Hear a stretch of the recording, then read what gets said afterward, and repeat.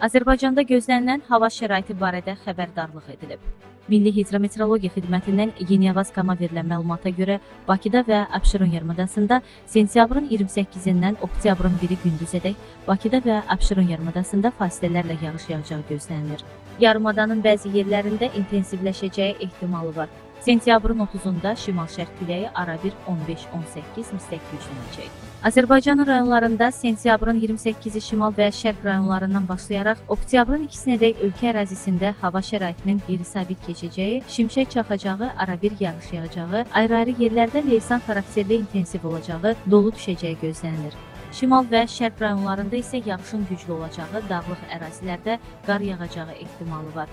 Şərq küləyi ayrı-ayrı yerlərdə arabir 15-20 müstəq güclənəcək. Çaylarda sululuğun artacağı, bəzi dağ çaylarından qısa müddətli daşqın və sel keçəcəyi ehtimal olunur.